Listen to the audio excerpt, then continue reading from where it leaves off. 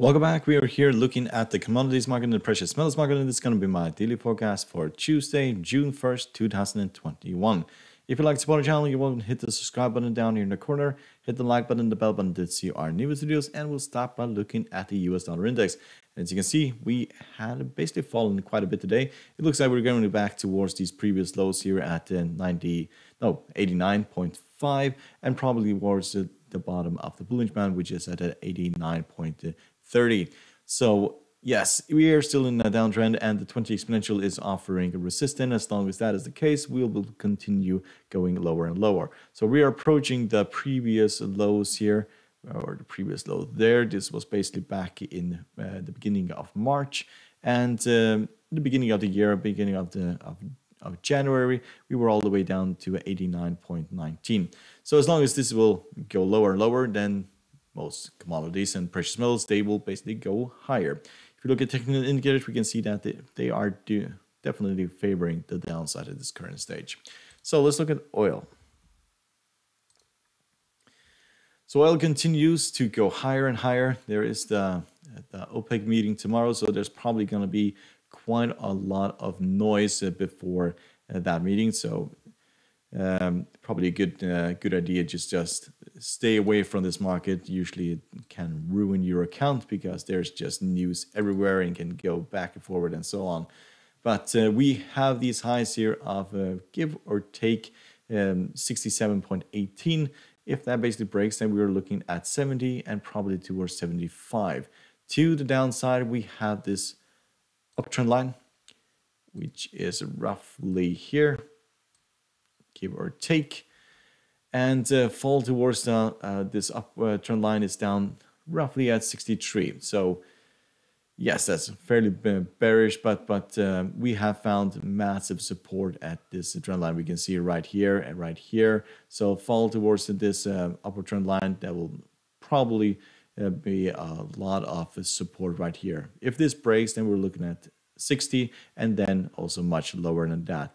If we look at technical indicators for oil, we can see that stochastic, uh, the MACD is bullish, stochastic is bullish, the CCI is still in bullish territory and the RSI is flat at this current stage. So let's look at natural gas. So uh, natural gas, we can see that we have rallied above these previous highs here and above uh, the middle of the Bollinger Band. And looks like we are heading towards uh, the top of the Bollinger Band, which is at, at 3.0881. Technical indicators, they are slowly turning around. MACD is still bearish, stochastic is bullish, CCI is bullish, and the RSI is also bullish at this point. So yes, the bottom of the Bollinger Band here, or roughly 2.9, that has been massive support. We can see also here that we tested this area uh, very often before rallying. We can see right how often this area was basically tested before continuing to the upside. So trend is definitely to the upside at this current stage. And uh, yes, we're even though in this period here uh, we are uh, trending upwards. If we manage to take out these previous highs here, which we tried to do a few weeks ago, then we may see this go to these previous highs of roughly 3.37. So let's look at copper. So copper did fall a little bit. We did uh, have a massive rally last week and uh, a pullback after that could be expected. It also rallied roughly 3-4%. If you look at technical indicators, they are fairly mixed. MACD is still bearish, stochastic is bullish, CCI is bullish, and the RSI is flat. So we found major support down here at the 4.4, and we have found quite a lot of resistance at give or take at 4.69. So let's look at gold. So gold continues slowly. It's just going technically sideways at the moment. It looks like momentum has run out and kind of expect this to pull back at some point. We are significantly overbought. That is the problem that we're facing at this point. It's difficult for this to go significantly higher when we're this overbought in the RSI. So a pullback towards the 20 exponential at give or take 1860, uh, that could give this enough momentum in order to go significantly higher. Target would most likely be these previous highs here. This is 1950 give or take, and then we're heading towards 2000. We are in uptrend and uh, pullbacks similar to this, and this is kind of what we are expecting at the moment uh, before this goes significantly higher. So let's look at silver. So silver, very similar here. It is just bouncing off the 20 exponential and we are in a very nice channel to the upside. It looks like it is 30 uh, dollars that we are uh, going to target here. That is where we found massive resistance in the past, both here and here. And if we manage to take out the 30, then we are probably going to 35 and then beyond that. If you look at technical indicators, they are fairly bullish at this point.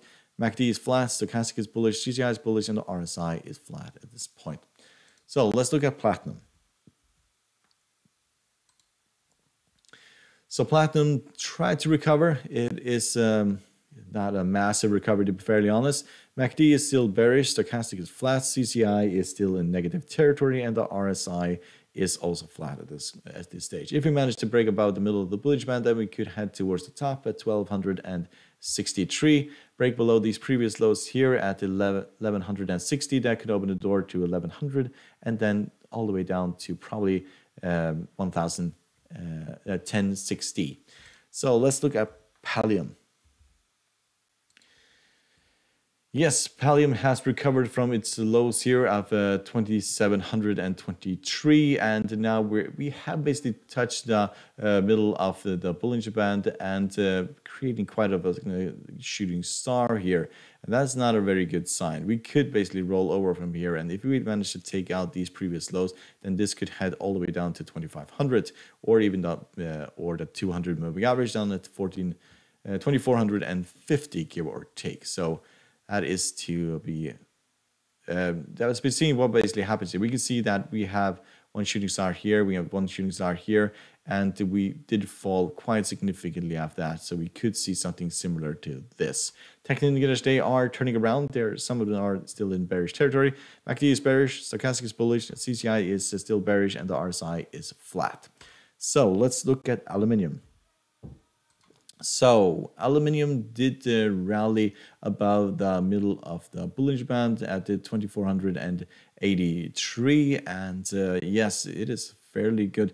Um, the 50 moving average is a massive support in this market. We did have an absolutely crazy fall to war from the highs here of 2563 all the way down to the 50 moving average of 2312 and now we have rallied well, we have basically broken the Fibonacci retracement here. If I can see, yeah, we have broken the 61.8 and it looks like we are going back towards the top of the Bollinger Band at 2546. Technical indicators are uh, turning around. MACD is still in uh, bullish territory, going across the signal line and very bullish shine. Stochastic is bullish, CCI is bullish, and the RSI is flat. If we pull back from here, we'll most likely find massive support at the middle of the Bollinger Band. So let's look at nickel. So nickel also continues to uh, rally. We have uh, basically tested these previous highs here. We can see tested here, here, here, have not broken above. So we're trading at the 18,130. 50 moving average is the bottom of this market at this current stage. Technical indicators are all turning around. If this basically breaks, then we could head towards 19, uh, 19,000 and probably also 20,000. So let's look at sugar. So sugar did rally all the way up towards the 0.17 and then, well, gave most of those gains back do favor the upside uh, upside still. 50 moving average offered quite a lot of support. You can see the, Mac, the technical indicators are turning around. MACD is still bearish, stochastic is bullish, CCI is bullish, and RSI is also bullish. So it may well be that we'll head back towards the previous high here of roughly 0.1821. To the downside, 50 moving average, or basically bottom of the Bollinger band at this point, is massive support. So let's look at cotton. So cotton is not rallying at this rate. We are still underneath the 50 moving average. We have a crossing here of 20 exponential in the 50, which is uh, not a good sign for this market. We may rally up towards that 20 or the 50 and get rejected there and then crash towards the previous lows of 0.77, uh, 41 or the 200 moving average. 200 moving average is probably going to be the bottom of this market. So we could drop towards the level and then continue to the upside. If we break below the 200 moving average, then we could drop 0.70, give or take. So uh, it's difficult to say how far we will drop if the 200 moving average breaks, but uh, we're still technically in an uptrend. It has been very up and down, this massive rally here, massive fall rally, and so on. But technically, we're still trending above the 200 moving average and still in an uptrend. So let's look at cocoa. So if we uh, look at cocoa, we can see that the 50 moving average offered quite a lot of uh, resistance, and then we basically broke down from there. So we're still trading within the square, uh, and um, it has been somewhat more predictable where this has been going uh, recently. We have been rallying up towards the highs here to the lows, highs, and nearly to the lows, and now we're right basically middle of nowhere.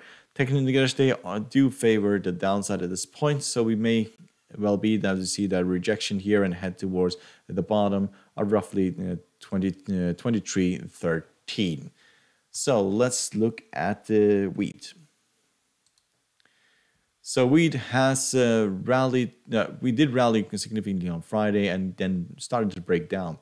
This is not a very good sign for this market. Uh, technical indicators, they are fairly mixed. MACD is uh, bearish, the stochastic is bullish, the CCI is bearish, and the RSI is uh, bearish as well. So we got rejected here at the 50 moving average. Is if we fall below these previous lows at 638, then we could drop towards the 200 moving average.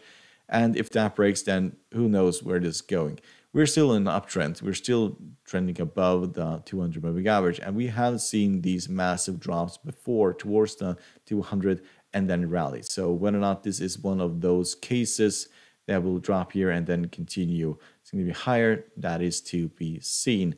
But the technical indicators are they are fairly mixed. MACD is bearish, stochastic is bullish, CCI is bearish, and the RSI is also bearish. If you look at uh, long-term for this market. We can see that we did break the middle of the Bollinger Band and then rallied above that. But we have occasionally dropped nearly to the 50 moving average. But we do have a crossing here of the 20 um, of the MACD in the weekly chart. And usually that means that we are just, well, just continuing this drop. So a fall towards give or take 600 that probably could be possible within the next uh, two or three weeks. So hope you find it helpful. You will support our channel by subscribing, hit the like button and the bell button to see our new videos. And good luck and thank you very much.